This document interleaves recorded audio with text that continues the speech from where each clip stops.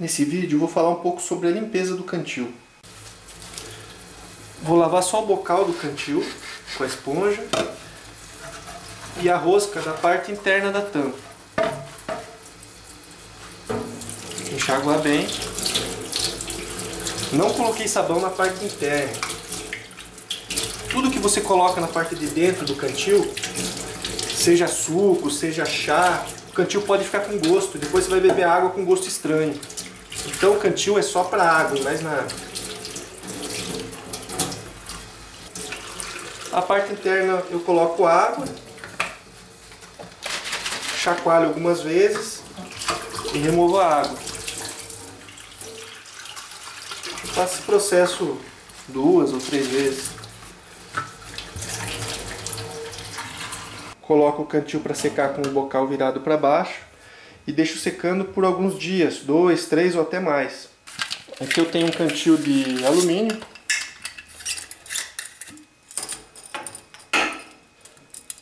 O processo é o mesmo.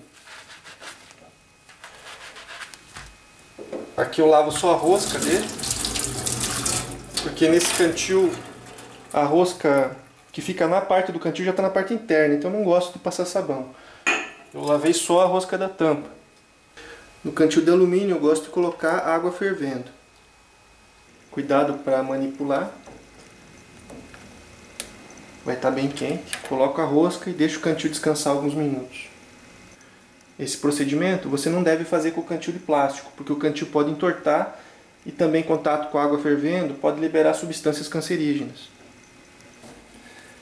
Não caia em tentação de chacoalhar o cantil com água quente dentro porque vai formar pressão dentro e a hora que você for desrosquear você pode se machucar com água quente. Eu deixo geralmente 5 minutos.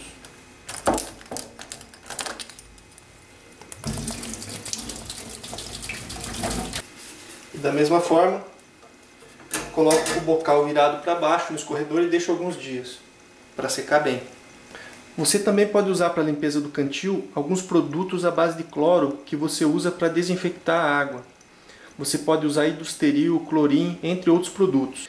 Você deixa o produto junto com a água, de acordo com as indicações do fabricante, agir por 5 minutos dentro do cantil e depois elimina a água.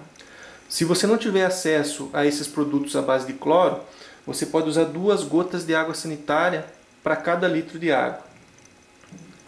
Se você achou esse vídeo útil, inscreva-se no meu canal e não deixe de acessar meu site tocandira.com.br. Meu nome é Gasparello, muito obrigado por frequentar meu canal. Para saber mais sobre técnicas de sobrevivência, camping, cutelaria e tiro esportivo, acesse tocandira.com.br.